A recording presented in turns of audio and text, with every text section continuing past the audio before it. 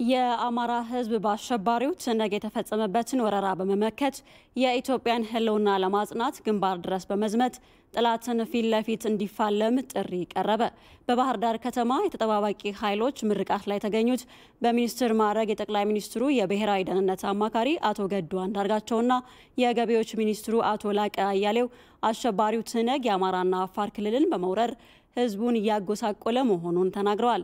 የጠቅላይ ሚኒስትሩ የብሔራዊ ደህንነት አማካሪ አቶ ገዱ አንዳርጋቸው ሁላችንም ከመከላከያ ሰራዊትና ከክልሎች የጸጥታ ኃይሎች ጎን በመቆም ጠላትን መፋለም እንደሚገባ ተናግረዋል።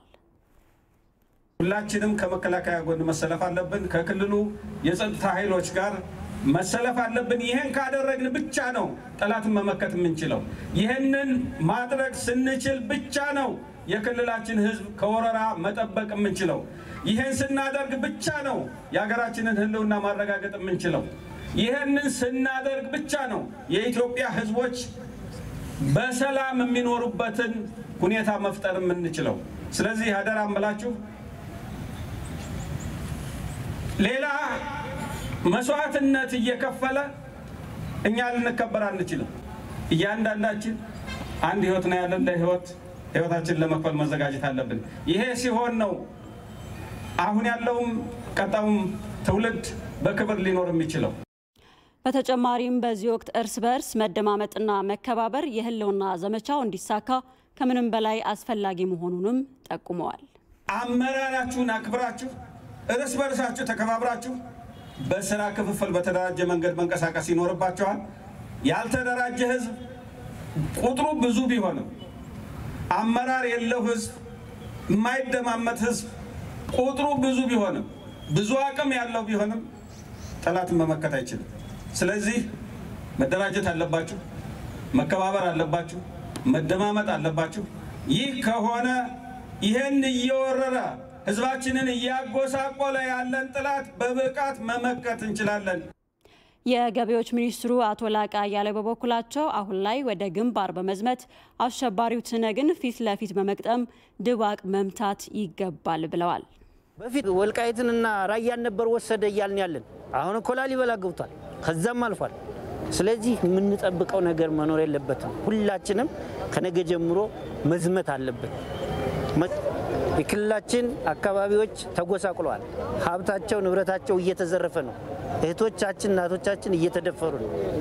ስለዚህ በእኛ ጊዜ በእኛ ዘመን ታሪክ ሊበላሽ አይገባውም። አባቶቻችን፣ አያቶቻችን አማራ ከፍ ብሎ እንዲታይ ለሀገር ዋልታና መከታ ሆኖ ቆይቷል። ታዲያ በእኛ ዘመን ለምን አማራ ይዋረዳል? ለምን ኢትዮጵያ ትፈርሳለች? በእኛ ዘመን። ስለዚህ አሁን እኛ ሙተን ለልጅና ልጆቻችን የነበረንን ከፍታ ማስተላለፍ ነው ያለብን፣ ማስቀጠል ነው ያለብን።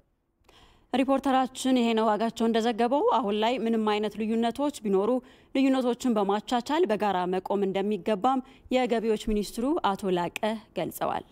አጼ ምኒልክ ወደ አድዋ ህብረተሰቡን እዘው ሲዘምቱ አመልክን በጉያህ ስንቅህን በአህያ ይዘህ ተከተለኝ ነው ያሉ። አሁን ማድረግ ያለበት አማራ እንደዚህ ነው። አሁን ቢሮ የሚባል አይሰራም፣ ሚኒስተር የሚባል አይሰራም፣ ፕሬዝዳንት የሚባል አይሰራም። ሁላችንም ወደ ግንባር ሂደን ነፃነታችንን ማረጋገጥ አለብን። ልዩነት ሊኖር ይችላል። ለምሳሌ አመራሩን የማይደግፍ ወጣት ሊኖር ይችላል። ፓርቲውን የማይደግፍ ሊኖር ይችላል። የሆነ ከቀበሌ አመራር፣ ከወረዳ አመራር፣ ከዞን አመራር፣ ከክልል አመራር ጋር ልዩነት ያለው ሊኖር ይችላል። እነዚህ ግለሰቦች ናቸው።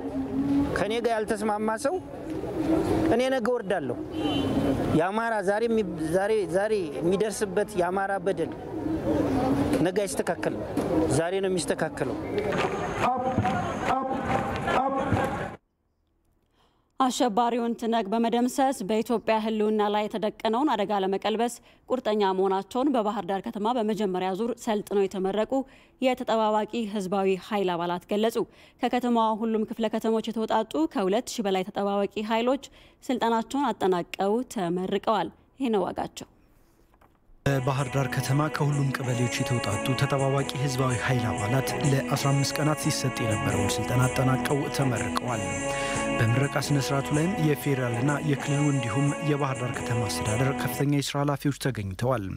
የባህር ዳር ከተማ ተቀዳሚ ምክትል ከንቲባ ዶክተር ድረስ ሳህሉ የተመረቁት የተጠባባቂ ኃይል አባላት በአማራ ሕዝብ ላይ የተፈጸመውን ወረራ ለመመከት የተጣለባቸውን ኃላፊነት በቁርጠኝነት እንዲወጡ አደራ ብለዋል። የአሸባሪው ትህነግ የከፈተብንን ጦርነት ለመመከት የአማራን ሕዝብ ህልውና ለማስጠበቅ ከመከላከያ ኃይላችን ከልዩ ኃይላችን እና ከሚሊሻ ጎን በመሰለፍ ደጀን ለመሆንና ግንባር ድረስም ሂዶ ለመፋለም ዝግጁነታችሁን ያሳያችሁ የከተማችን ወጣቶች ላለፉት 15 ቀናት ያክል የውትድርና ስልጠና ስታካሂዱ ቆይታችሁ ዛሬ ለዚህ ምረቃ በቅታችኋልና እንኳን ደስ ያላችሁ። በምረቃ ስነ ስርዓቱ ላይ የተገኙት በሚኒስትር ማዕረግ የጠቅላይ ሚኒስትሩ የብሔራዊ ደህንነት አማካሪ አቶ ገዱ አንዳርጋቸው የተደቀነውን የህልውና አደጋ ለመቀልበስ ሁሉም መስዋዕትነት ለመክፈል ዝግጁ መሆን እንዳለበት አሳስበዋል። አሁን እየተካሄደ ያለው ግልጽ ወረራ ነው። የህወሀት ኃይል በክልላችን ገብቶ ህዝባችንን እያጎሳቆለ ነው። ወገኖቻችን ለዘመናት ያፈሩትን ንብረት እያወደመ ነው፣ እየዘረፈ ነው። የህዝብ መጠቀሚያ መሰረተ ልማቶችን እያወደመ ነው። የሀገራችንና የህዝባችንን ህልውና ለማረጋገጥ ሁሉም ከመከላከያ ኃይላችን ከክልሎቻችን የጸጥታ ኃይሎች ጎን ተሰልፎ መፋለም ይኖርበታል። የገቢዎች ሚኒስትሩ አቶ ላቅ አያሌው በበኩላቸው ወረራውን ለመቀልበስ የወጣቶች መነሳሳት የሚደነቅ ቢሆንም አሁን ላይ ጠላትን ለመደምሰስ በቀጥታ ግንባር ድረስ መዝመት ግድ የሚልበት ወቅት ላይ እንገኛለን ብለዋል። ሁላችንም ተደፍረናል። አሁን ይሄን የደፈረንን ኃይል በመጣበት አግባብ መመለስ አለብን፣ መቀበርም አለበት። ስለዚህ ለዚህ ወጣቶች እያደረጉት ያለ ዛሬም እዚህ ያየሁት መነሳሳት በጣም ጥሩ ነው፣ መሆንም አለበት፣ ተገቢም ነው።